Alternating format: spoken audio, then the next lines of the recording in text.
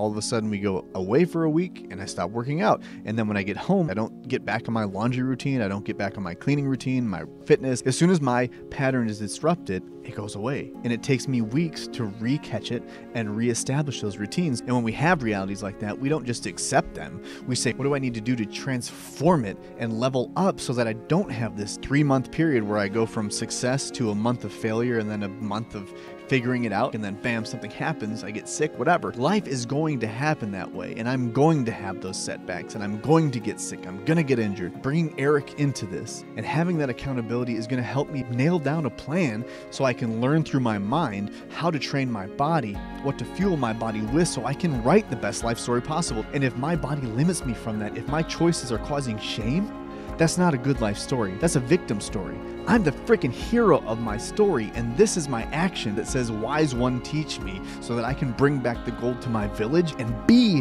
the freaking hero in my own damn story. I'm figuring out who I am every day. I'm figuring out what I want, how I want to bring my energy to this world, how I want to dress, how I want to eat, sleep, recover, how I want to invest in my children, everything. That doesn't always look pretty.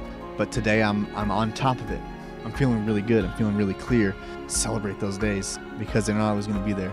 Here's to the journey and for all of its highs and lows, all of its twists and turns. Whatever happens, we give it a meaning, we give it reason, we sit with it, we look deeper because superficial is just what catches our eye.